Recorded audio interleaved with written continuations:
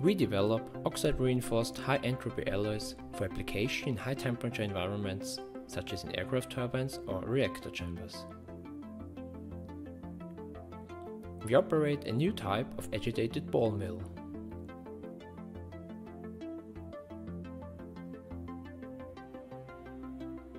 The initial powders are milled in an evacuated vial to prevent atmospheric contamination.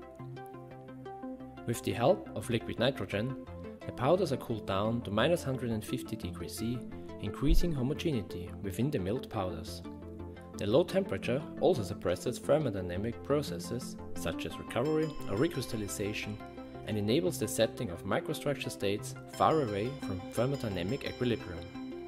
By this, metastable supersaturated phases can be produced.